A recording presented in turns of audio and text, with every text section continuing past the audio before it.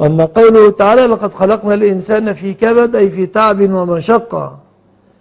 فمنذ أن يولد في تعب ومشقة. في المهد يجوع ولا يشعر به أحد فيبكي. ترضعه أمه وبعد يأتيه الفطام أشد عليه من السهام. فيبكي بكاء شديدا. يشب يكبر شيئا ما يذهب إلى الكتاتيب وإلى المدارس. ف سياط المدرسين تؤذيه. بعد ذلك يدخل النجاح والرسوب والزواج وهل أنجب أم لم ينجب والوظيفة وسكرات الموت والمرض والضعف في تعب ومشقة.